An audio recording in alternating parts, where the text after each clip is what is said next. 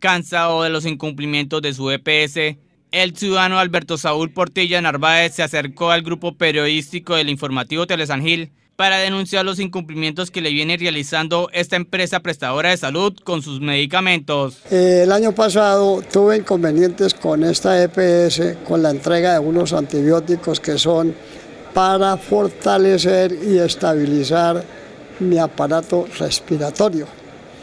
Ahorita me encuentro en la misma situación, ahorita ya es peor. ¿Por qué? Porque allá no dan razón, que Salubía lo van a liquidar, que nos van a pasar para otras EPS y eso ya lleva casi ya dos meses y no se ve absolutamente ninguna solución a esta gran situación que nos está perjudicando no solamente a mí, sino a los usuarios de la EPS. Comenta el denunciante que hace aproximadamente 15 días interpuso una tutela contra la EPS, pero hasta el momento no ha recibido solución ni respuesta. Eh, todavía no me la han contestado, no sé qué, qué pase. Estoy esperando contesta por, por medio de esa tutela.